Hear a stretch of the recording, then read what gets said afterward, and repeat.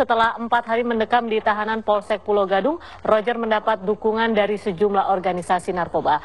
Nantinya Roger akan mendapat bantuan hukum serta rehabilitasi.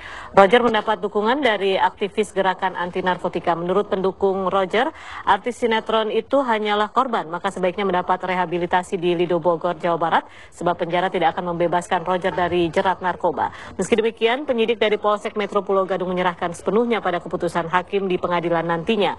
Penyidik menjerat Putra Joni Danuarta ini pasal 111 dan pasal 112 Undang-Undang Nomor 35 Tahun 2009 tentang narkotika dengan ancaman hukuman 12 tahun penjara. Sebelumnya, polisi menemukan Roger di kawasan Kayu Putih, Jakarta Timur, Senin dini hari lalu dan saat itu ia tak sadarkan diri diduga karena overdosis.